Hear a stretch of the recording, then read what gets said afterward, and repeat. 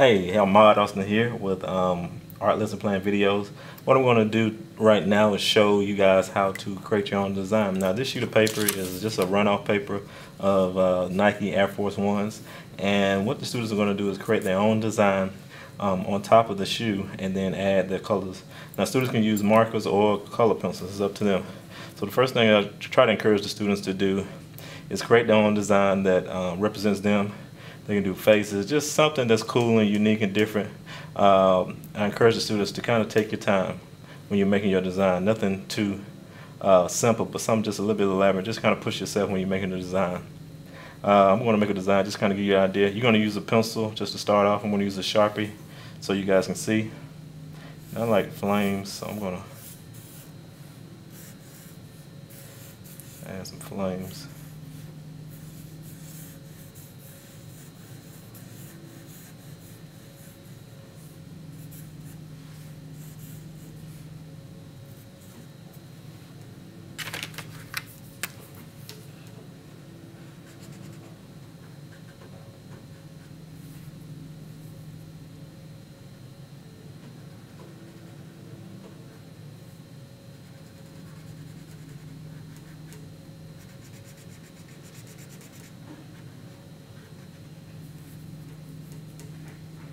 That's the airs right there. I'm going to skip that.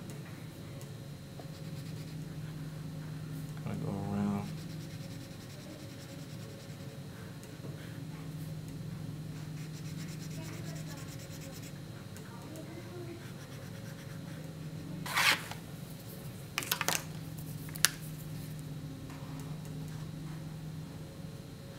Make sure you color in nice and neat.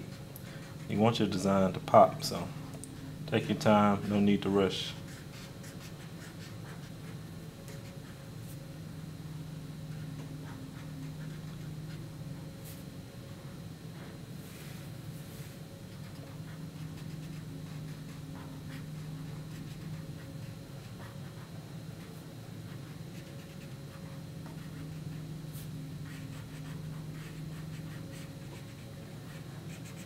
Make my shoestrings red